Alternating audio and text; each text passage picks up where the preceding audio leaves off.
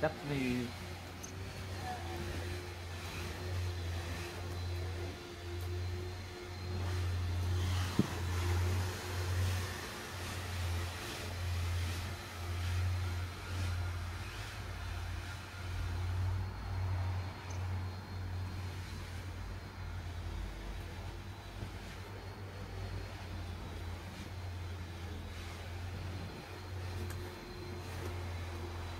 ga ik eens heel dicht komen, hè.